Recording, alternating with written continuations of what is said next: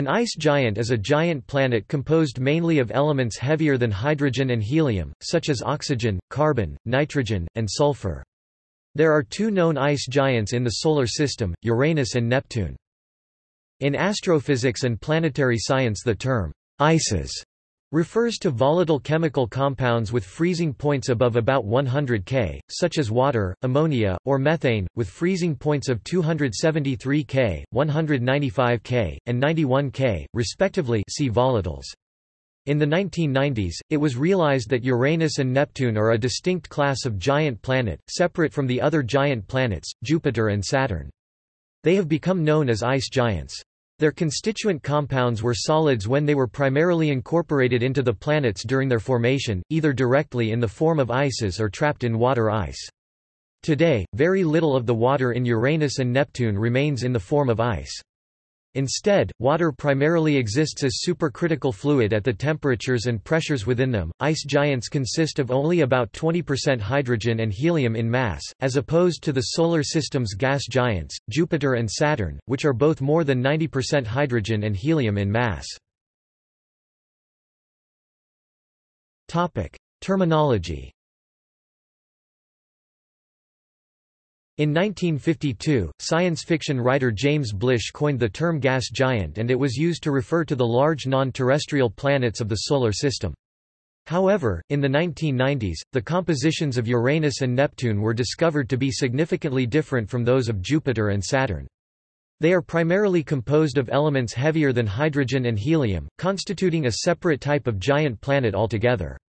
Because during their formation Uranus and Neptune incorporated their material as either ices or gas trapped in water ice, the term ice giant came into use. Formation Modeling the formation of the terrestrial and gas giants is relatively straightforward and uncontroversial. The terrestrial planets of the Solar System are widely understood to have formed through collisional accumulation of planetesimals within the protoplanetary disk. The gas giants—Jupiter, Saturn, and their extrasolar counterpart planets, are thought to have formed after solid cores around 10 Earth masses m formed through the same process, while accreting gaseous envelopes from the surrounding solar nebula over the course of a few to several million years ma, although alternative models of core formation based on pebble accretion have recently been proposed. Some extrasolar giant planets may instead have formed via gravitational disk instabilities. The formation of Uranus and Neptune through a similar process of core accretion is far more problematic. The escape velocity for the small protoplanets about 20 astronomical units from the center of the Solar System would have been comparable to their relative velocities. Such bodies crossing the orbits of Saturn or Jupiter would have been liable to be sent on hyperbolic trajectories ejecting them from the system. Such bodies, being swept up by the gas giants, would also have been likely to just be accreted into the larger planets or thrown into cometary orbits. In spite of the trouble modeling their formation, many ice giant candidates have been observed orbiting other stars since 2004. This indicates that they may be common in the Milky Way. Topic: Migration Considering the orbital challenges of protoplanets 20 astronomical units or more from the center of the Solar System would experience, a simple solution is that the ice giants formed between the orbits of Jupiter and Saturn before being gravitationally scattered outward to their now more distant orbits. Disk instability Gravitational instability of the protoplanetary disk could also produce several gas giant protoplanets out to distances of up to 30 astronomical units. Regions of slightly higher density in the disk could lead to the formation of clumps that eventually collapse to planetary densities. A disk with even marginal gravitational instability could yield protoplanets between 10 and 30 astronomical units in over 1000 years Ca. This is much shorter than the 100,000 to 1 million years required to produce protoplanets through core accretion of the cloud and could make it viable in even the shortest lived disks, which exist for only a few million years. A problem with this model is determining what kept the disk stable before the instability. There are several possible mechanisms allowing gravitational instability to occur during disk evolution. A close encounter with another protostar could provide a gravitational kick to an otherwise stable disk. A disk evolving magnetically is likely to have magnetic dead zones, due to varying degrees of ionization, where mass moved by magnetic forces could pile up, eventually becoming marginally gravitationally unstable. A protoplanetary disk may simply accrete matter slowly, causing relatively short periods of marginal gravitational instability and bursts of mass collection, followed by periods where the surface density drops below what is required to sustain the instability. Photoevaporation Observations of photoevaporation of protoplanetary disks in the Orion Trapezium cluster by extreme ultraviolet EUV radiation emitted by Theta 1 Orionis C suggests another possible mechanism for the formation of ice giants. Multiple Jupiter mass gas giant protoplanets could have rapidly formed due to disk instability before having the majority of their hydrogen envelopes stripped off by intense EUV radiation from a nearby massive star. In the Carina Nebula, EUV fluxes are approximately 100 times higher than in Trapezium's Orion Nebula. Protoplanetary disks are present in both nebulae. Higher EUV fluxes make this an even more likely possibility for ice giant formation. The stronger EUV would increase the removal of the gas envelopes from the protoplanets before they could collapse sufficiently to resist further loss. Characteristics The ice giants represent one of two fundamentally different categories of giant planets present in the Solar System, the other group being the more familiar gas giants, which are composed of more than 90% hydrogen and helium by mass. Their hydrogen is thought to extend all the way down to their small rocky cores, where hydrogen molecular ion transitions to metallic hydrogen under the extreme pressures of hundreds of gigapascals (GPa). The ice giants are primarily composed of heavier elements. Based on the abundance of elements in the universe, oxygen, carbon, nitrogen, and sulfur are most likely.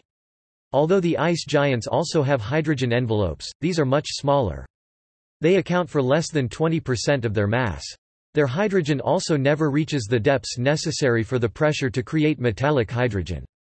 These envelopes nevertheless limit observation of the ice giants' interiors, and thereby the information on their composition and evolution. Although Uranus and Neptune are referred to as ice giant planets, it is thought that there is a supercritical water ocean beneath their clouds, which accounts for about two thirds of their total mass. Atmosphere and weather The gaseous outer layers of the ice giants have several similarities to those of the gas giants. These include long-lived, high-speed equatorial winds, polar vortices, large-scale circulation patterns, and complex chemical processes driven by ultraviolet radiation from above and mixing with the lower atmosphere. Studying the ice giants' atmospheric pattern also gives insights into atmospheric physics. Their compositions promote different chemical processes and they receive far less sunlight in their distant orbits than any other planets in the Solar System increasing the relevance of internal heating on weather patterns. The largest visible feature on Neptune is the recurring Great Dark Spot. It forms and dissipates every few years, as opposed to the similarly sized Great Red Spot of Jupiter, which has persisted for centuries.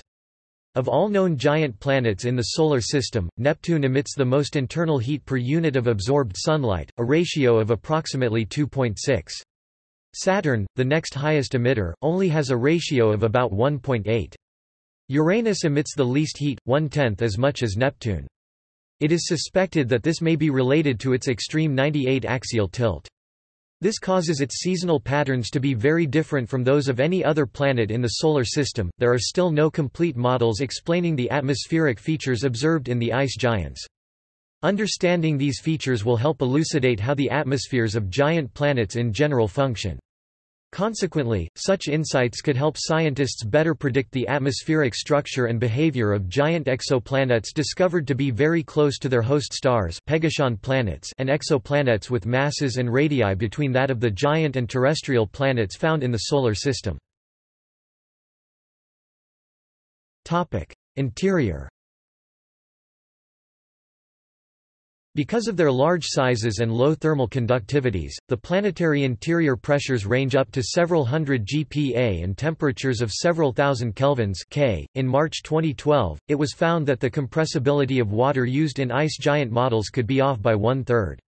This value is important for modeling ice giants, and has a ripple effect on understanding them. Magnetic fields The magnetic fields of Uranus and Neptune are both unusually displaced and tilted.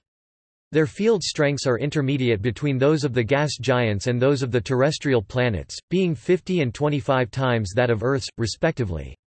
Their magnetic fields are believed to originate in an ionized convecting fluid ice mantle.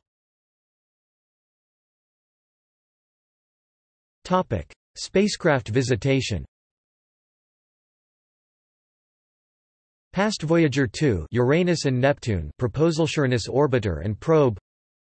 ODINUS Topic. See also. List of gravitationally rounded objects of the Solar System. Mini-Neptune Planet 9 Topic. References External links Sandia experiments may force revision of astrophysical models of the universe, Sandia Labs